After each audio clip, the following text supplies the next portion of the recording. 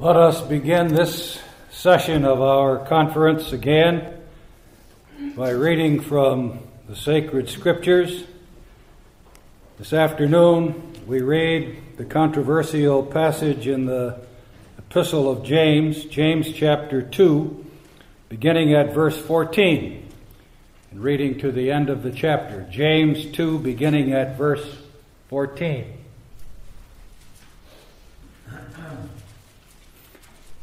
As we read this passage, try to place yourself in the years leading up to and including 1517,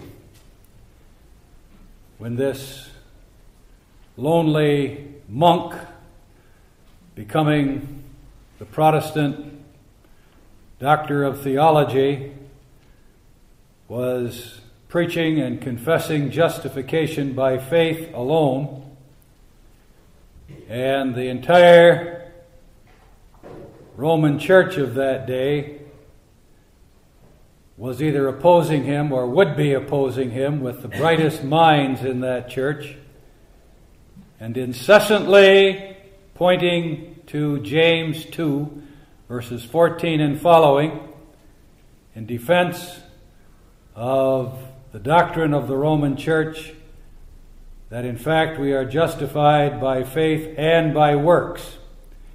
Put yourself in Martin Luther's shoes as this passage was being brought against him. How would you respond to the biblical appeal to James 2 in defense of justification not by works, but by faith alone. What doth it profit, my brethren, though a man say he hath faith and have not works? Can faith save him? If a brother or sister be naked and destitute of daily food, and one of you say unto them, Depart in peace, be ye warmed and filled, notwithstanding ye give them not those things which are needful to the body, what doth it profit? Even so, faith, if it hath not works, is dead, being alone. Yea, a man may say, Thou hast faith, and I have works. Show me thy faith without thy works, and I will show thee my faith by my works. Thou believest that there is one God, thou doest well. The devils also believe and tremble. but wilt thou know, O vain man, that faith without works is dead?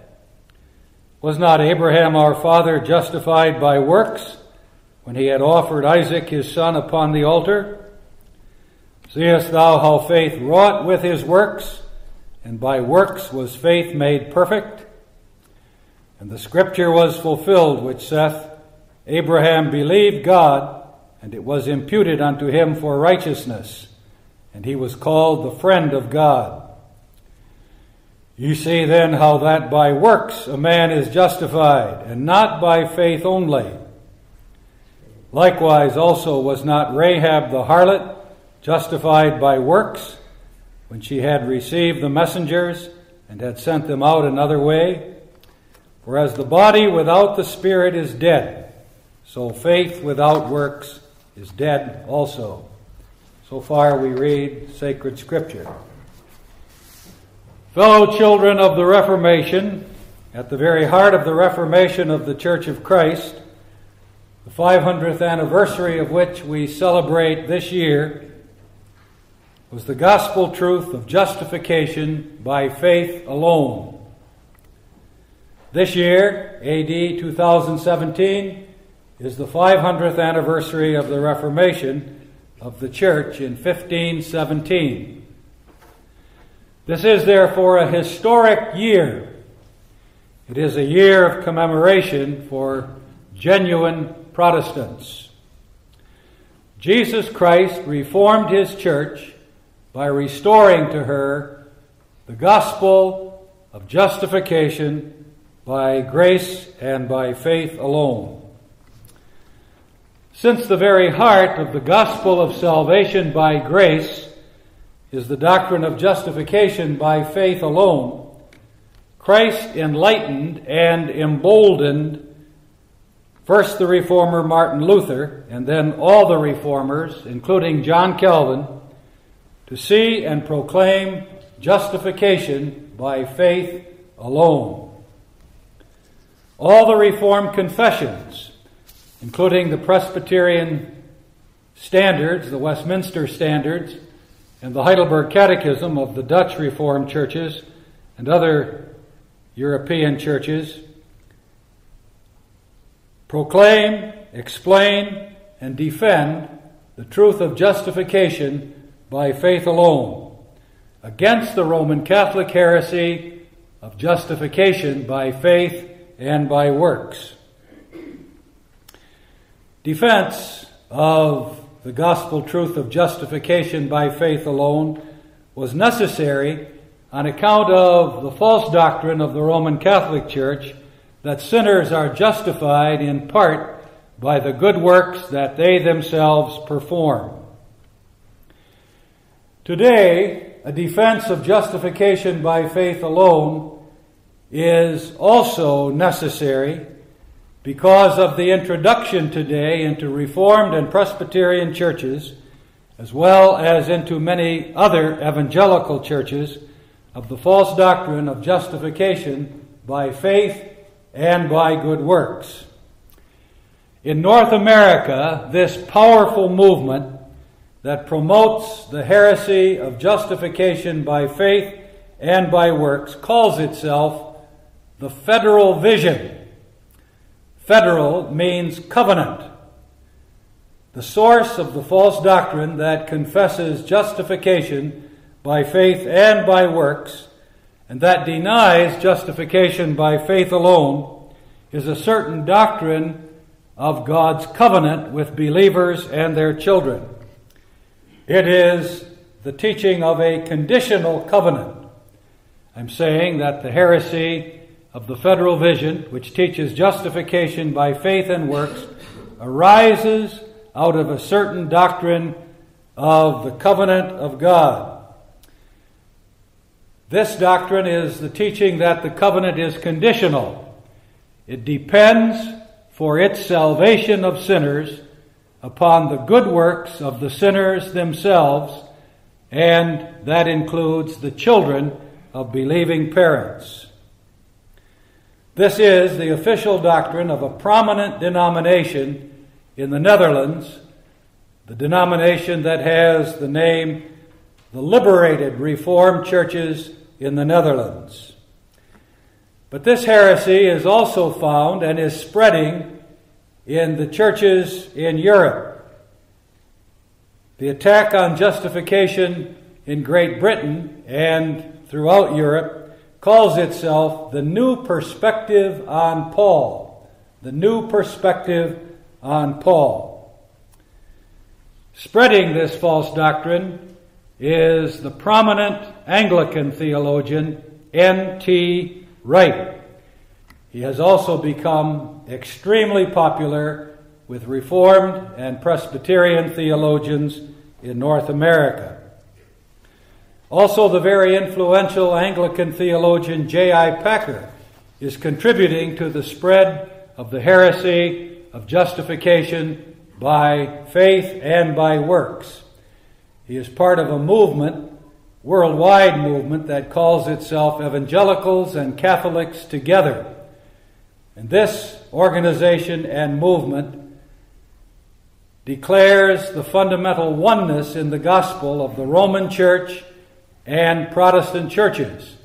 And this movement is also an ecumenical movement. It intends to unite Protestants and Roman Catholics. There is therefore today, I am saying, informing you, if you do not know this already, a massive all out assault on the Reformation confession of justification by faith and by faith alone.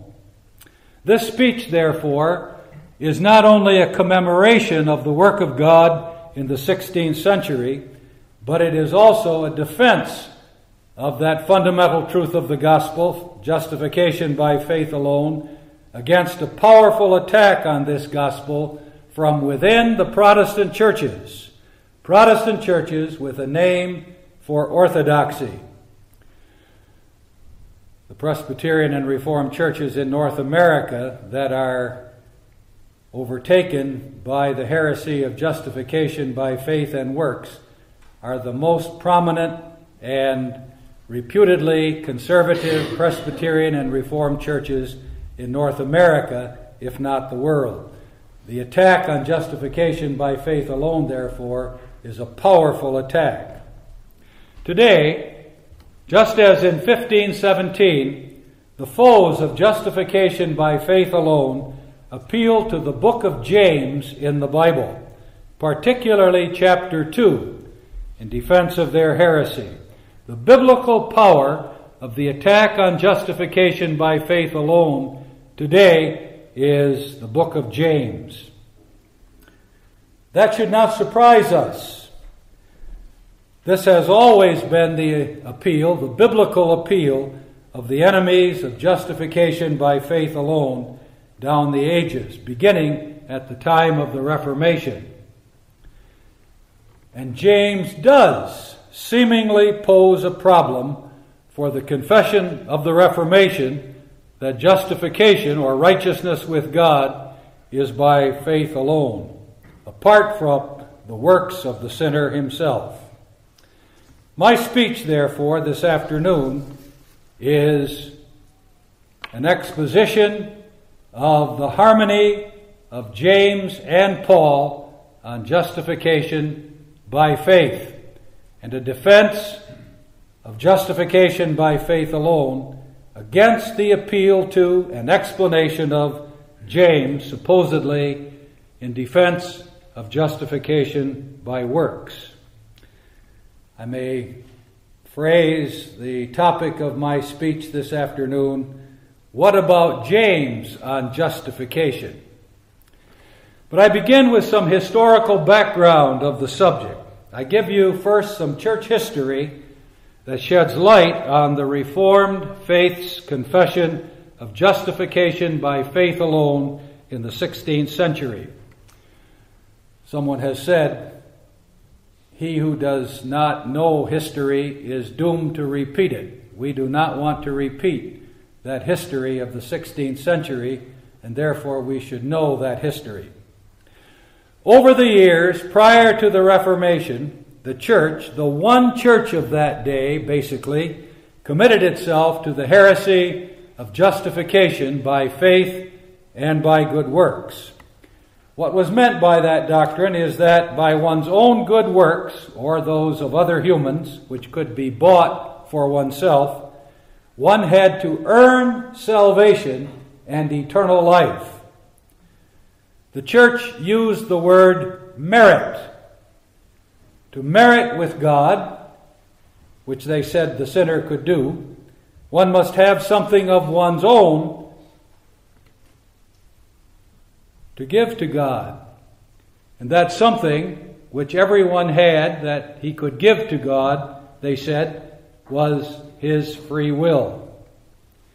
After the fall, the church taught sinners retained a free will, a will that was able to choose for God and for Christ, as well as to choose against God and against Jesus Christ.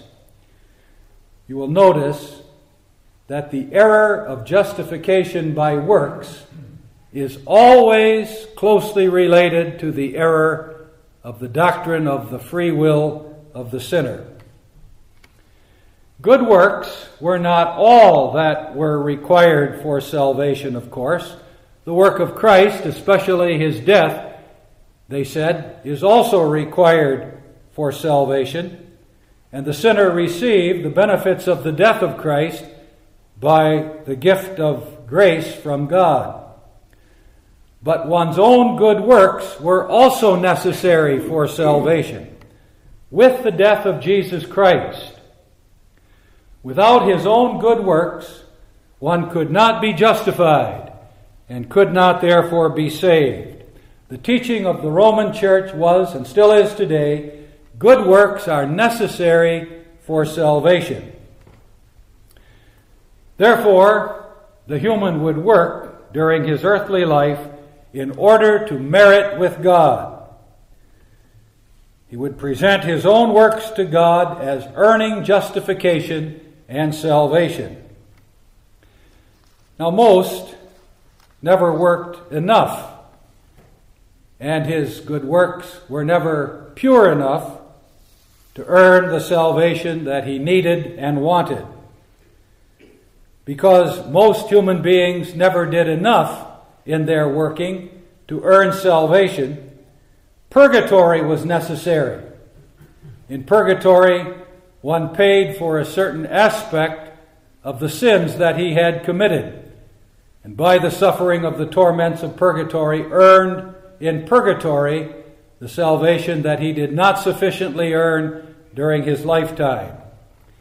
Jesus, they said, did most of the suffering for our sins, but we must also accomplish part of the suffering for our sins.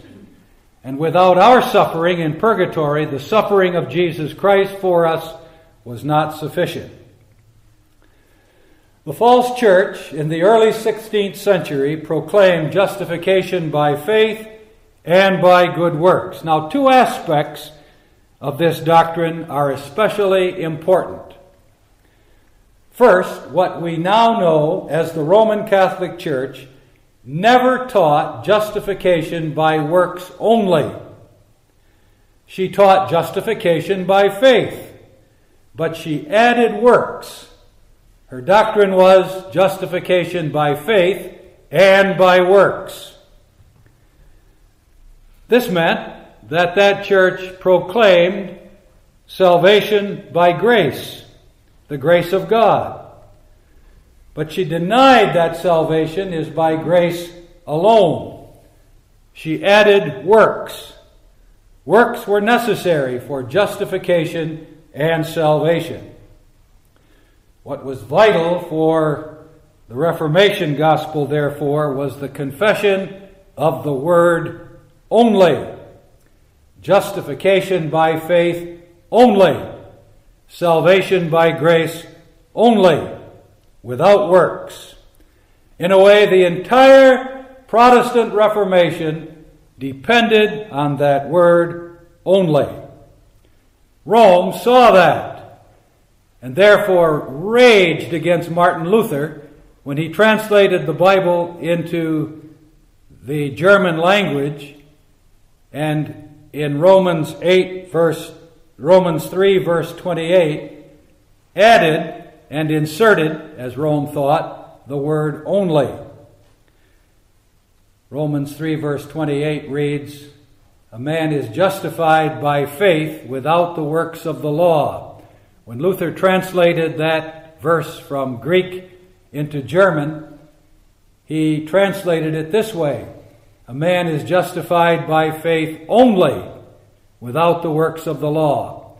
Rome screamed that that word only is not in the original text and it's not there explicitly, and therefore criticized Luther for adding to Scripture. But that's one thing that must be noted. Rome never taught justification by works alone but it taught justification by faith and works. The second thing to be noticed about Rome's doctrine is that the Roman Catholic Church taught, and still teaches today, that the works that are necessary for salvation, our works, are genuine good works, works that one does with the help of the Spirit of Jesus Christ. Now, in practice, they added many other works. For example, indulgences, pilgrimages, pilgrimages, and much more. But the official doctrine of the Roman Church was and still is today that the good works that are necessary for justification are the real good works that one does by the power of the Holy Spirit. Rome's explanation of justification, therefore, could be convincing. The sinner is justified by faith in Jesus Christ. The death of Jesus Christ is the main part of our righteousness with God. And regarding our works that are necessary, we perform them only by the grace of the Holy Spirit within us. Thus, we do justice to the grace of justification, Rome said. One more element of Rome's doctrine, then and now, should be noticed. Its defense of its doctrine of the necessity of good works for salvation in justification, why Rome teaches justification by works. It is necessary to teach this, namely justification by works, Rome has always argued, in order to make the people diligent in living a holy life. To teach justification by faith alone is to encourage the people to be slack in holy living, or even to cause them to live careless and wicked lives. The teaching of justification by faith alone, Rome has always said, is dangerous. It doesn't stir the people up to live the way Christians should live. The relentless charge against the Reformation doctrine of justification was that it is antinomian. That word means against the law. And the charge means this that one who believes justification by faith alone will not obey the law of God, but will break the law of God and be careless about obeying the law of God because I'm justified by faith alone anyway. Be careful, therefore, when you hear the charge against a minister or against a church that he or it is antinomian. That charge may very well be a false charge, indicating the objection that the one who makes that charge has against the doctrine of justification by faith alone and the doctrine of salvation by grace alone in the book of Romans, chapters 3 through 5 especially, Rome teaches justification by faith alone, apart from our own good works. What is the charge that he immediately recognizes will be the charge against his doctrine? Thou wilt say unto me then, he quickly notices that we abolish the law and that we teach that Christians may live a careless and unholy life. He faces the charge, in fact, you are an antinomian. You promote a careless and unholy life by not recognizing good works as part of the cause of justification with God. What was Rome's biblical basis for its doctrine that justification is by faith and by works. Emphatically and almost exclusively in support of its doctrine, Rome appealed to James 2, verses 14 through 26.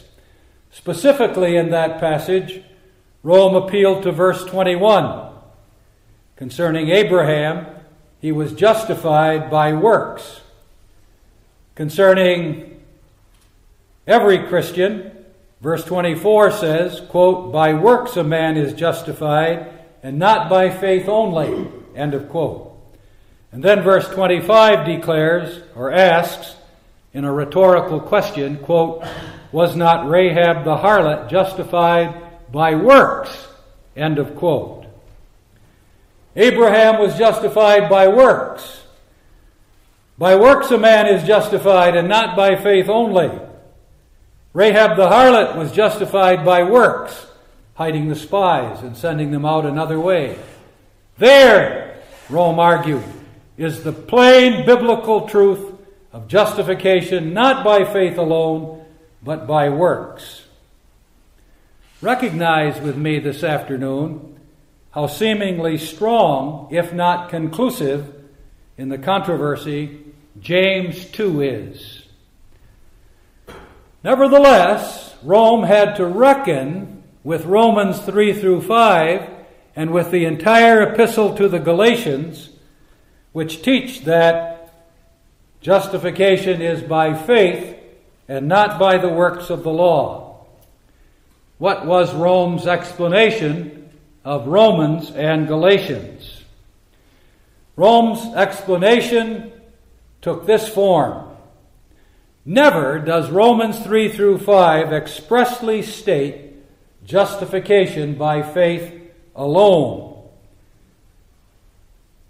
Luther corrupted the passage by inserting the word alone, they said, but the word alone is not in the passage.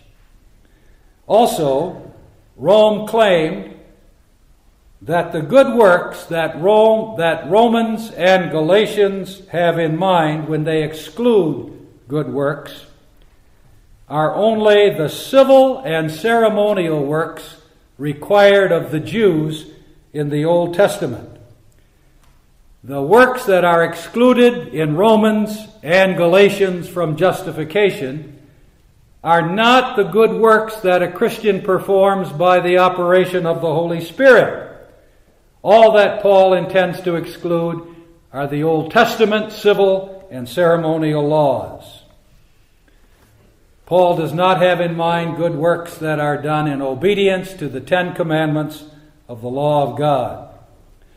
Rome therefore understands Romans 3 verse 28 this way, quote, by faith, without the deeds of the civil and ceremonial law for Israel in the Old Testament, but with the deeds of obedience to the law of the Ten Commandments, a man is justified. Fundamental to the doctrine of justification of the Roman Catholic Church is that justification in James and Romans are the same.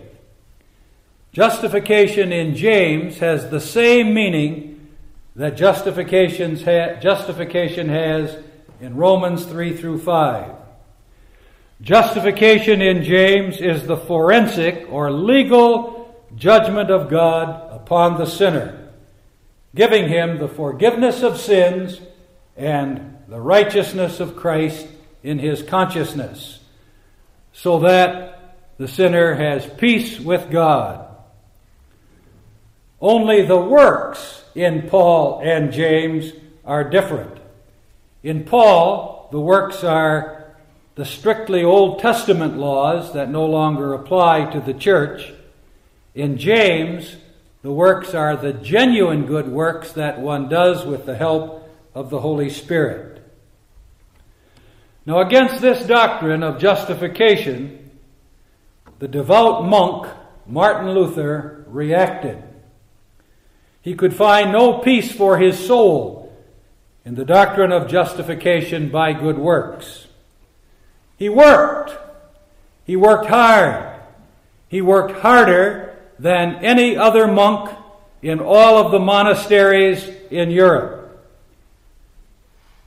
But he felt that he came short of the righteousness of God of justification. He fell short of the righteousness that God demanded. He felt, and he did fall short of the righteousness that God demands. All of the works of Martin Luther, he felt, were imperfect and therefore refused by the awesomely holy God for righteousness with himself. We commonly say about Luther that he knew his sin, and he did, but he also knew the awesome righteousness of God. Luther wrote later on that he came to hate the God of Romans 1, verse 17, whose righteousness condemns guilty sinners no matter how hard they work. Romans 1, verse 17, you will recall, reads like this Therein is the righteousness of God revealed from faith to faith. Luther was taught to take and explain the righteousness of God there as a justice that God demands of the sinner. And Luther reacted against that demand because the sinner is incapable of giving to God the righteousness that he demands. then in his spiritual agony was revealed to Luther that the righteousness of God is a righteousness that is given to the sinner, not that is earned by him. And that God gives this righteousness to the sinner by means of faith. That's how Romans 1, verse 17 concludes from faith to faith. With this revelation as to what the righteousness of God really is, cried Luther, the door of paradise opened up to me. God gives righteousness freely by faith, not by the sinner's works, and by faith alone, not by faith plus the good works of the sinner. The righteousness of justification is a gift. Salvation is by grace. This is the gospel truth of Romans 3 through 5 and of the entire epistle to Galatians. Quote, without the deeds of the law, end quote, which means without the good works of the believing sinner. And the works excluded from the divine act of justification are all works, including the genuine good works that the believer performs by the power of the Holy Spirit within him. Therefore, Luther began the Reformation, which taught justification by faith alone. The Roman Catholic Church responded to Luther and to his doctrine of justification by faith alone with a monotonous appeal to James 2. That appeal to James 2 so exasperated Luther that on one occasion he dismissed the epistle, to J- the epistle of James as a right strawy epistle, an epistle of straw, an epistle that was not worth much, an epistle that really didn't belong in the Bible. Now that's a judgment that Luther did not maintain. He expressed that in one exasperated moment, but later on he saw his mistake and acknowledged that James is a lawful, legitimate, and important epistle in the Bible, and that he would write a commentary on, in fact, a very good commentary. Now I bring this history concerning justification up to date. Today there is a renewal of Rome's heresy and the abandonment of the Reformation's gospel truth of justification by faith alone. This abandonment of the gospel truth of justification is found today in Reformed and Presbyterian churches. There is the open, explicit teaching and preaching of justification by faith and by good works, with appeal to James 2. The churches include those who are most highly regarded for their orthodoxy, at least in North America. And these are churches that dominate the supposedly conservative ecumenical organization known as NAPARC, North America Presbyterian and Reformed Churches. The false doctrine of justification arises from and is promoted by these churches' doctrine of a conditional covenant. And that's why they take the name of the federal vision. Theirs is a certain vision of the covenant.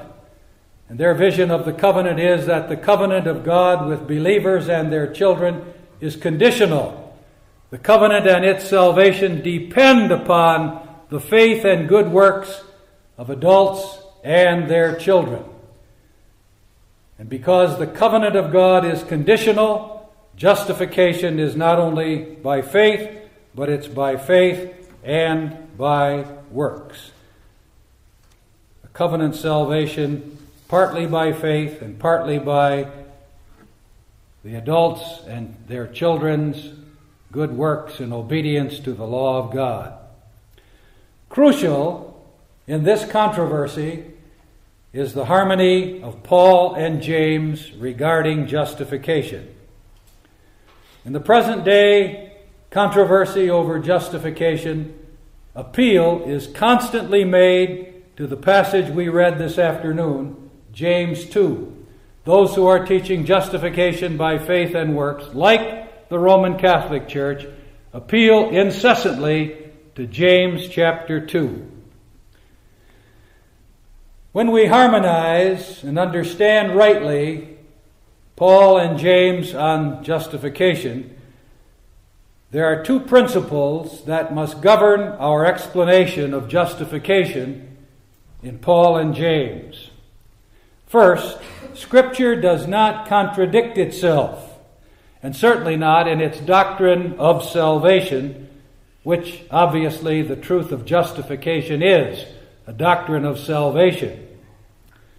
Romans and Galatians on the one hand, and James on the other hand, are not contradictory. They don't teach two contradictory ways of salvation. Romans 3 through 5 does not teach justification by faith alone, whereas James 2 teaches justification by faith and by the good works of the sinner.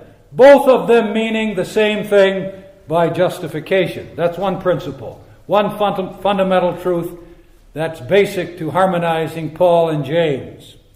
The second principle or truth is that Scripture explains Scripture. Where there is difficulty in understanding a certain passage of Scripture, the Bible itself must solve the problem. And the Bible does this inasmuch as the clearer passages of Scripture shed light on the more difficult passage. Now, these aren't principles of biblical interpretation that I have invented. These are principles of biblical interpretation that are taught in every seminary to the students so that they will be able preachers of the gospel, or principles that ought to be taught in every seminary. The doctrine of gracious salvation in Romans and Galatians is crystal clear. It is evident beyond all doubt that Romans and Galatians teach the doctrine of salvation. They teach how the guilty sinner is saved from sin. They teach particularly how the sinner becomes righteous with God, so that there is no condemnation of the sinner, no damnation of the sinner but that instead he has the right to eternal life. The teaching of Romans and Galatians is that salvation is by faith in Jesus Christ, apart from the works of the sinner himself. That is, salvation is by faith alone. In the interests of time, I appeal only to two texts in Romans 3 through 5. One of them is verse 28 of Romans 3. A man is justified by, 3 verse 28, a man is justified by faith without the deeds of the law. That is, without good works. And then I appeal to Romans 4 verse 5. Romans 4 verse 5. Extremely powerful text in the context of this controversy.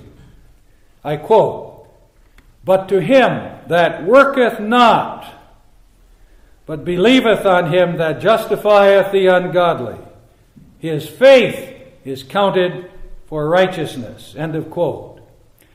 It is as if the Apostle Paul envisions a man in the pew where he is preaching. And by the influence of the Holy Spirit, this man has become convicted of his sin, the guilt of his sin is convicted that he is a damn worthy sinner and that he will be condemned everlastingly unless he is delivered from this guilt of his sin and cries out, How can I be righteous with this awesomely holy God? How can I be delivered from my state of guilt to a state of innocency? How can I be delivered from hell into heaven? The answer of the apostle is don't work, you ungodly man. Don't try working in order to become righteous with God. But believe. Believe on this God who in Jesus Christ justifies ungodly persons like yourself. And your faith is counted for righteousness in the sense that your faith unites you to Jesus Christ. Your faith has Jesus Christ as the object. And by your faith you receive Jesus Christ and his righteousness so as immediately to be delivered from condemnation, to escape hell and its punishment, and to enjoy heaven and its life. But to him that worketh not, but believeth on him that justifieth the ungodly, his faith is counted for righteousness. And then I appeal to just one text in the book of Galatians, undoubtedly the most important for our consideration of this matter. Verse 16 of Galatians 2. Galatians 2, verse 16. Quote, knowing that a man is not justified by the works of the law, but by the faith of Jesus Christ. The question, remember, is this You aren't Martin Luther, and I'm not Martin Luther. But you're troubled by the same great issue that Luther was troubled by, and so am I. How can I, a sinful, ungodly man, be righteous with God? That's the question. And if you've never asked that question, there's something desperately wrong with you. And I beseech you to ask that question about yourself this afternoon. How can I be righteous with God? In view of all the transgressions that I've committed in thought, word, and deed, because of the corruption of my nature, out of which flow sinful thoughts and sinful desires that I wouldn't want to open up to any other human being, but that are open before the holy God. How can I be righteous with God? In consideration of the question of the issue, only the righteous will inherit eternal life, and all those who are unrighteous will be damned eternally. How can I be righteous with God? That's the question. That's the all important question. Whatever other questions you have about your life fade into unimportance in connection with this question. Galatians 2, verse 16, is answering that question. Not by the works of the law, but by the faith of Jesus Christ.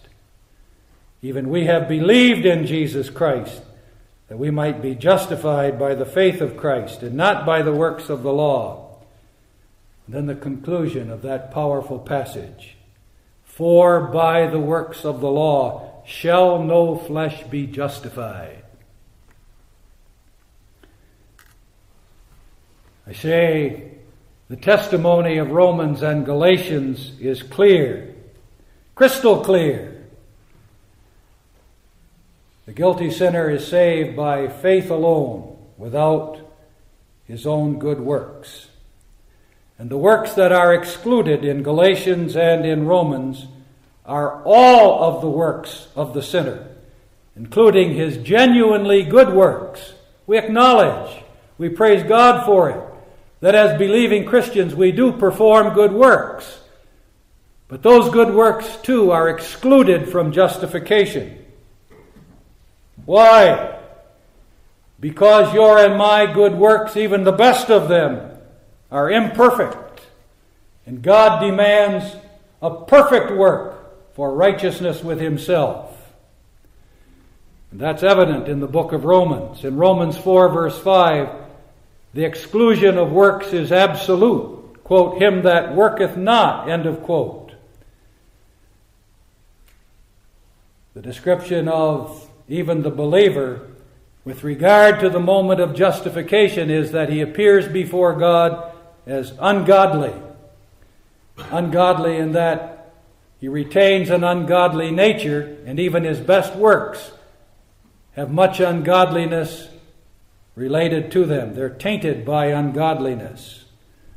The ungodly has no good work to present to God for his own justification.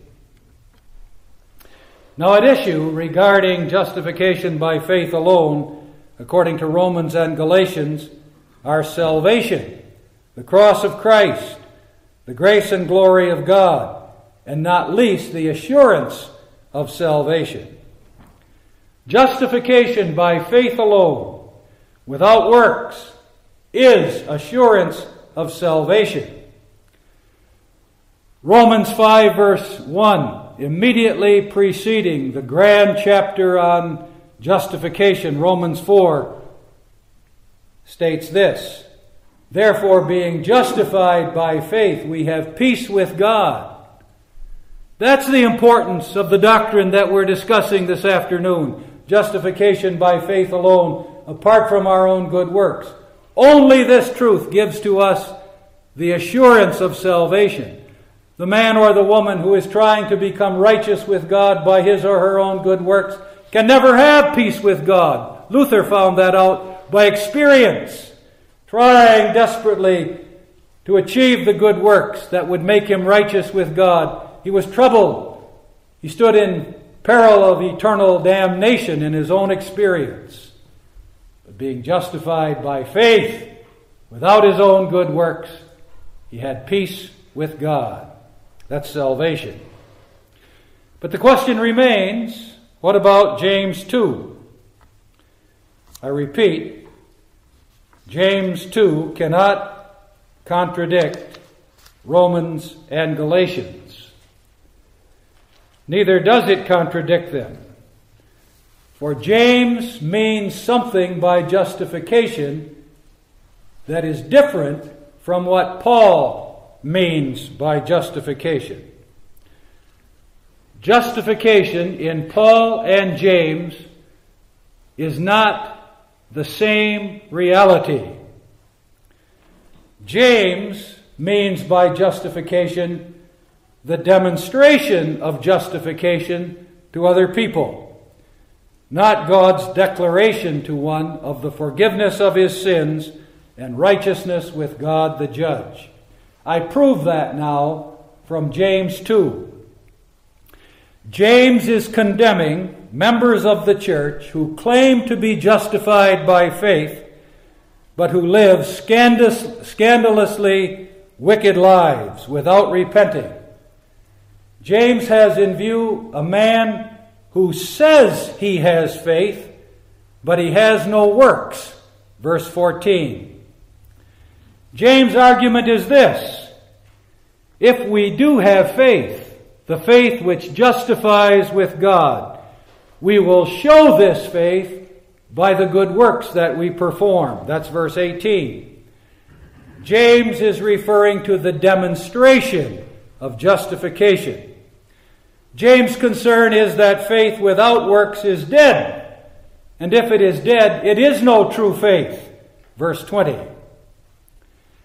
James calls on us to show our faith, that is, to demonstrate it by our works. And when we demonstrate our faith, we demonstrate as well the reality of our justification.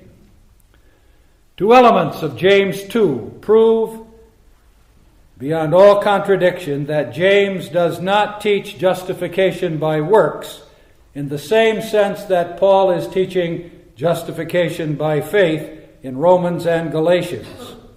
Follow carefully. First, in verse 18 of James 2, James challenges members of the church show me thy faith. Show it. Demonstrate it. That's his concern. Justification with regard to the demonstration of, our, of itself. That's one thing.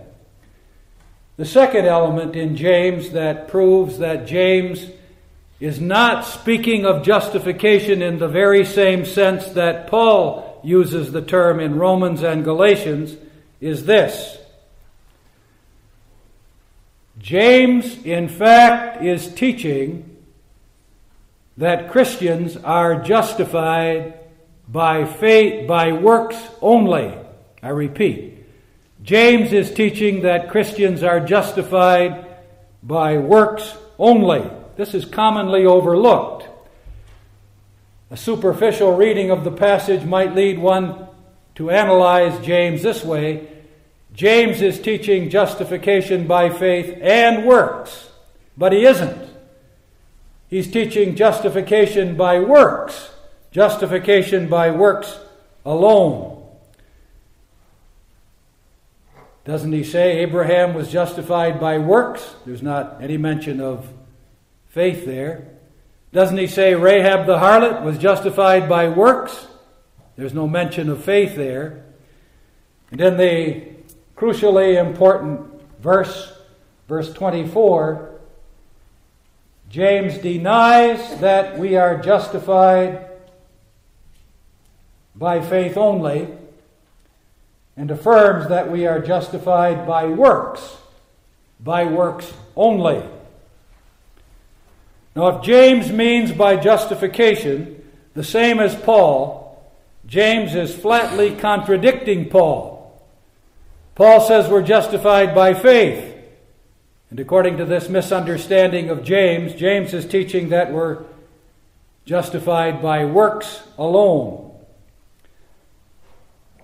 And that's unacceptable. James cannot contradict Paul. The Bible does not contradict itself, especially in matters of salvation.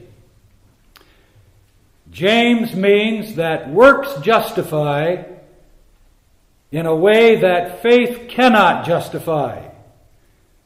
And the way in which works justify is that works show the reality of justification. Works demonstrate the reality of justification. Suppose I say to you this afternoon, I am justified by faith. You have no proof that this is true. You cannot see my faith. But when my life appears to you and is known to you, not as perfect, but nevertheless as a life of good works, you have the demonstration, the proof, as it were, of my justification by faith. Because a true living faith always works. Now I give some warnings to make the truth of the difference of Paul and James clear.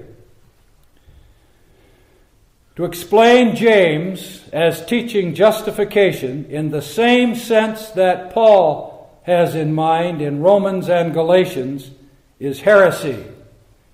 It is the Roman Catholic heresy. It is the Galatian heresy. It is the heresy of the Federal Vision and of evangelicals and Catholics together in our time. Also, Suppose I preach a strong sermon in your church, and I would welcome the opportunity to do that. Suppose I preach a strong sermon in your church on justification by faith alone.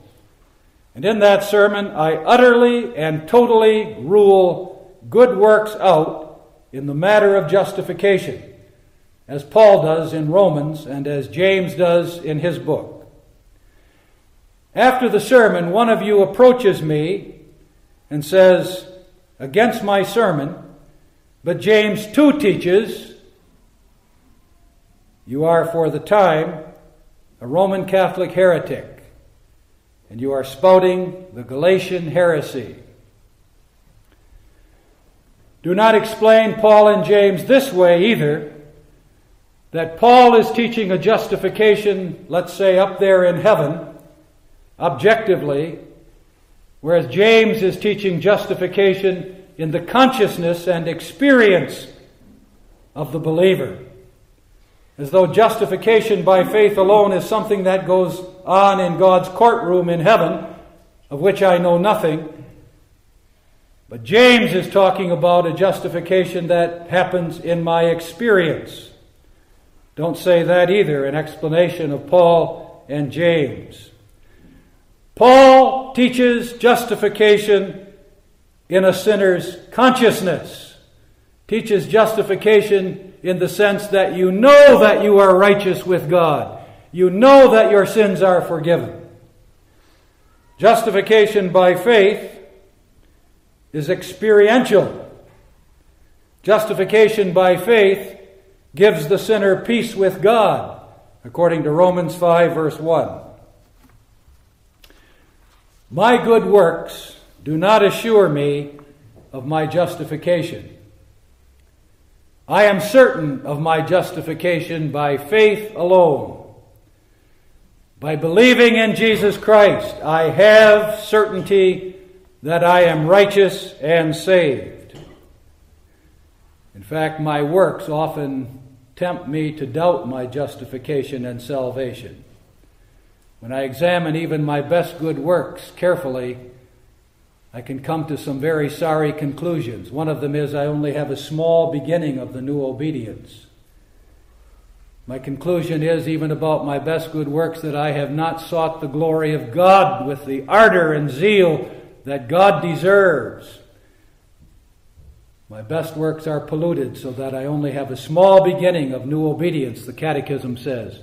And there's so much corruption and filth and rebellion still in my old nature that the more I examine my good works, the more I'm inclined to wonder about my salvation. The way of faith is to look away from oneself to Jesus Christ. Someone has said, faith is like an eye in the human body. There's one thing your eye can't see yourself. But your eye of faith is fixed on Christ, His perfect lifelong obedience. His atoning death, suffering and death to take away my guilt and shame. Faith looks upon Jesus Christ, and to faith belongs assurance of salvation. But good works demonstrate my justification to you and to others. All of this means that genuine, true Reformed churches or Presbyterian churches, such as the Covenant Protestant Reformed Church in Northern Ireland, have a great calling with regard to the confession of justification, the fundamental truth of the gospel of grace, in light of current developments in Presbyterian and Reformed churches worldwide. And true churches of Jesus Christ are uniquely qualified to carry this calling out, especially in this anniversary year of 2017. Preach the gospel truth of justification by faith alone, apart from the works of the sinner. Do that simply because, anniversary or no anniversary, this is the heart of the gospel. This is the hinge, as Luther said, upon which all of the gospel of grace turns. The calling of a true church today is especially urgent because of the spreading heresy of justification by works. I'm amused almost. It's not amusing, but it comes close to amusing me that faithless churches are supposedly commemorating the 500th anniversary of the Reformation. They won't take a stand for the truth of justification by faith alone if they do confess it themselves. We honor Martin Luther, this monk, walking up to the door of the church in Wittenberg with his 95 theses and supposedly with a hammer nailing them to the door. Will we do that? At the cost of the opposition, for him anyway, of the whole church of that day, and at danger, with the danger of the loss of his own life. Let us be courageous by our preaching, by our confession, as a church and individually. Nail the theses once more, as it were, to the doors of the church. We must defend the doctrine of justification by faith alone. We must be polemical. We must defend it against the Roman Catholic Church, which believes the same thing today as it did in 1517 must defend it against the Arminian heresy that has much of the church world by the throat, whose doctrine of justification is really the same as the heresy of the Roman church. We must do that against the threat of our day, the federal vision, the new perspective on Paul, evangelicals and Catholics together. And then we must ourselves live out of justification by faith alone. That's a beautiful thing. That means live in peace with God. Living out of the gospel of justification means having peace with God. Going to bed at night without terror that God may come to visit us with the damnation we deserve during the night, and to wake up with the same confidence and peace. And we live out of justification by faith alone also in that we live an active, obedient Christian life. That's a life according to the law. The law is our standard. That's a life lived not to become just, but that's a life lived in gratitude for the free justification that God has given us. All of this, the Reformation confessed in one pithy line. They did it in the Latin language, and so will I before I interpret it. Sola fide justificat sed fide non sola est. That was the watchword of the Reformation in connection with the harmony of James and Paul. Only faith justifies, but faith is never alone. It always carries with it the good works. That's the harmony. That's the oneness of James and Paul. Thank you.